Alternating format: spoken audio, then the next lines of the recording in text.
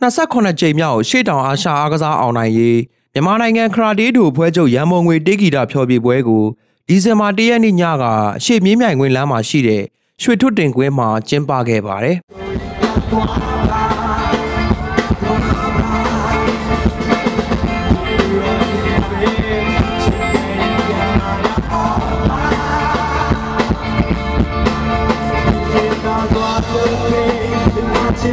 ။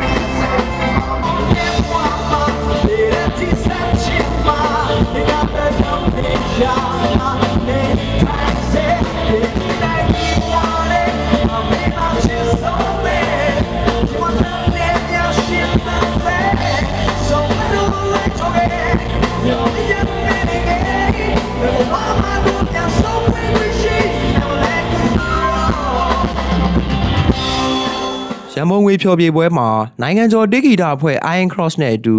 အဆိုတော်လေးပြူအငယ်မျိုးကြီး ဝိုင်းဝိုင်းနီနီခင်စော် Iron စင်မာမြင့်တို့ကတီးဆိုဖျော်ဖြေခဲ့ပြီးပရိသတ်တစ်ထောင်နီးပါးကလာရောက်အားပေးခဲ့ပါတယ်